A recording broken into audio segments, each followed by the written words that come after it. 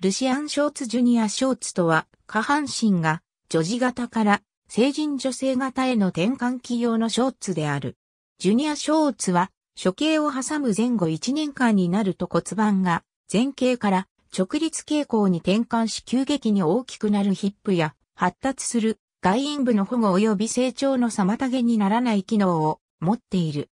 詳細は、生と尻を参照サイズ表記は、ジャイル4005。ヒップサイズが77センチメートル以上でかつ、処刑の前後1年間以降の場合は、女児ショーツからジュニアショーツへ履き替えるべきとされている。処刑の1年前後、処刑の1年後以降で、ヒップの形状、大きさが異なるため、各段階に対応したショーツが市販されている。ジュニアブラとデザインがお揃いのペアショーツとなる場合もある。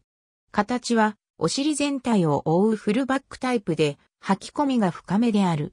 保護、保温、吸汗など下着の基本機能に忠実で清潔感を重視し、尻の発達に対応するために足回りがよく伸びるように設計されている。また、繰り返しの選択に耐えるよう少々厚めの生地が使われることもある。所長以降、生理に対応するためジュニア用、サニタリーショーツやスポーツ、体育授業などの運動時に対応したジュニア用、スポーツショーツもある。なお、メーカーによっては、ティーンズショーツなどが市販されているが、それらもジュニアショーツの一種である。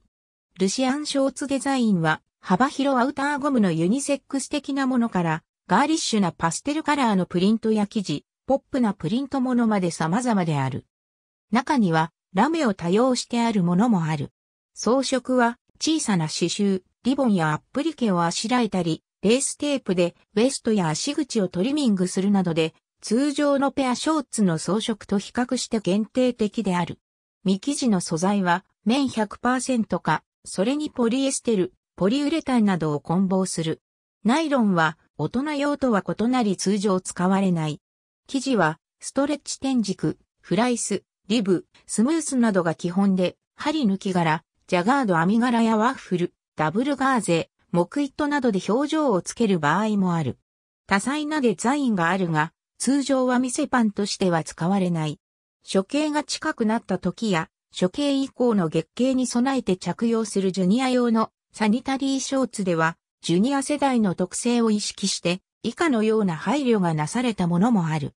バストと処刑の秘密の関係 AB、処刑をキーにした現代ティーンの成長と体型変化について、三宅婦人科内科医院、外院部の発育。